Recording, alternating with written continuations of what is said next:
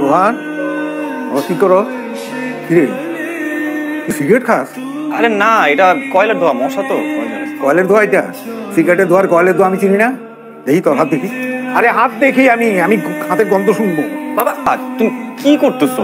আমি বড় হয়েছি না তুমি পারমিশন ছাড়া আমার রুমে ঢুকে যাও। বড় হয়েছ? হ্যাঁ অনেক বড় হয়েছ। পারমিশন নিয়ে ঢুক দিব। আর তোর লাস্টটা তো নষ্ট হয়ে যাব। তোর লাস্টটা তো নষ্ট হয়ে যাব। এই তুমি এই ঘরে কি করো হ্যাঁ? ঘুমাইতে যাবে না? তুমি যাও আমি আসতেছি।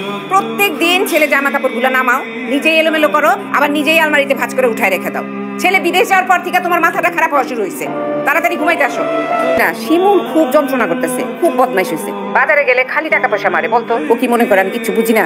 তুমি ওর একটু ভালো মতো বকশিস টকশিস দিতে পারো না। কি যে কস না বকশিস তো দেই তাও আমার উল্টাপাল্টা কি বুঝায়? ওই যে তোর আব্বা আসছে নেই কথা বল। কেমন আছো আমি আছি ভালো বাবা। তোমার চোখে কি অবস্থা?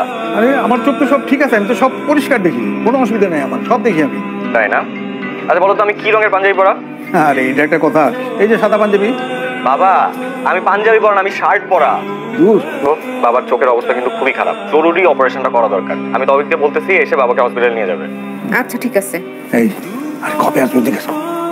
এই যে দেখ সারাদিন আমারে খোঁচায়। আমি কেন তোরে বলি না যে তুই বাংলাদেশে চলে আয়? আরে বলতো কি একটা অসুবিধার মধ্যে পড়ছি। আমি বাংলাদেশে কেন আসব? আমার এখানে সেটেলড লাইফ আমি চাকরি করতেছি ভালো আমি বাংলাদেশে গিয়ে কি করব? আরে সেটাই তো আমি বারবার বলি আমার কথাই শোনে না। আচ্ছা শুনো আমার বেরোইতে হবে। পরে ফোন দেবো না তোমারে। আপনাকে নাকি ডাক্তারের কাছে নিয়ে যাওয়া দরকার? কেন? ডাক্তারের কাছে কেন? আমি তো সম্পূর্ণ সুস্থ আমার তো কোনো রোগ নেই আমি ডাক্তারের কাছে যাব কেন? আমি তো শুনলাম আঙ্কেল আপনার চোখে নাকি আমার চোখে কি হয়েছে?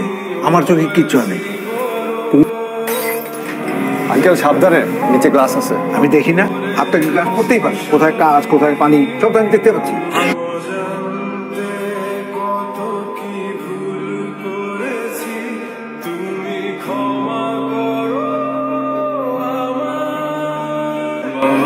রোহান সত্যি এলি? না এসে কি উপায় আছে? আমি তো জানি আমাকে ছাড়া চোখের অপারেশন তুমি করো। যদি এলি তাহলে তো নাটক করলি কেন? আমার থেকে তো বড় নাটক বাস তুমি। এক বছর ধরে অপারেশনটা ঝুলে রাখছো যাতে আমি দেশে চলে আসি। এখন চলে আসছি। আমাদেরকে ছাড়া কি আর থাকতে হবে? একবারই চলে আসছি।